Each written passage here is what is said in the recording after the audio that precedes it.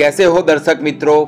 आप सभी का हार्दिक स्वागत है सेफ्टी टॉक के इस एपिसोड में। आज के इस एपिसोड में हम बात करने वाले हैं फ्लेमेबल और एक्सप्लोजिव लिमिट के बारे में, यानी कि एल ई एल और यू ई एल के बारे में। एल ई एल की बात करें तो उसका फुल फॉर्म है लोअर एक्सप्लोजिव लिमिट और यू ई एल की बात करें तो उसका फुल फॉर्म है upper explosive limit lower explosive limit और लोअर फ्लेमेबल लिमिट की बात करें तो गैस या वाष्प की न्यूनतम सांद्रता में जो प्रज्वलित होने पर जल जाएगी या तो फट जाएगी, उसे निचली विस्फोटक सीमा यानी कि लोअर एक्सप्लोजिव लिमिट कह सकते हैं।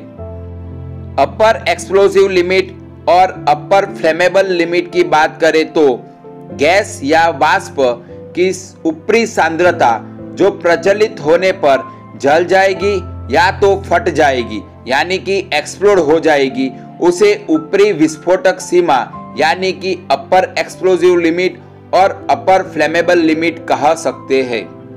लोअर एक्सप्लोजिव लिमिट और अपर एक्सप्लोजिव लिमिट के बीच में आग या विस्फोट का खतरा रहता है, मगर इसके बाहर हमें आग या विस्फोट का खतरा रहता नहीं है। हालाँकि यूएल से ऊपर की सांद्रता को खतरनाक माना जाना चाहिए, क्योंकि ताजी हवा के प्रवेश के कारण इसे पतला किया जा सकता है और विस्फोटक सीमा में प्रवेश कर सकता है। इसी तरह एल के बाद अगर उसी हवा में गैस का डिस्चार्ज जारी रहता है तो यह विस्फोटक रेंज में भी प्रवेश कर सकता है। इस प्रकार उनकी एकाग्रता को प्रभावित करने वाली गैस और हवा के प्रवाह के आधार पर विस्फोटक सीमा तक पहुँचा जा सकता है। वायु और गैस का तापमान भी प्रभावित हो सकता है। इसीलिए सीमा को अनुमानित मान माना जाना चाहिए।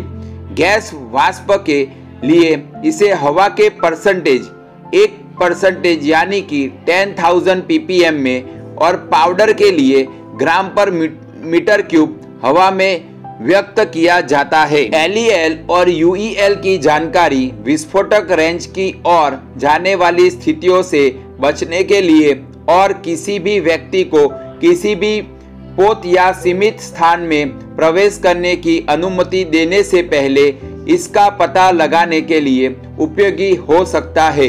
इस रेंज का पता लगाने के लिए एक्सप्लोसिव मीटर उपलब्ध है।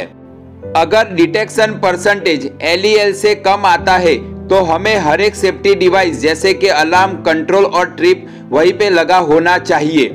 और फायर प्रिवेंशन इक्विपमेंट भी वहीं पे होना चाहिए।